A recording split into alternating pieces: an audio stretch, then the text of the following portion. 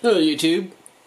So in that last video, uh, I used my old Fujica camera lens from that old Fujica 35mm camera to focus the light from the LED. To do the same thing for the XHP 70.2.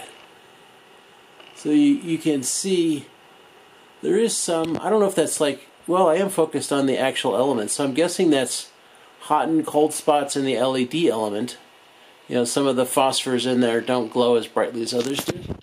Get a little bit closer with the camera.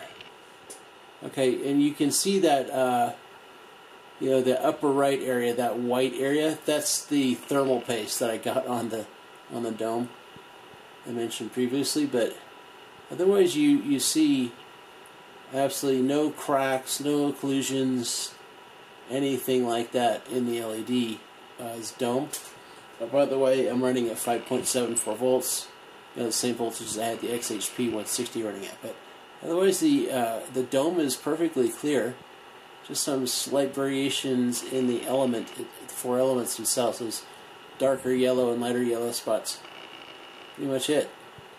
Yeah, Cree wins once more. What a surprise.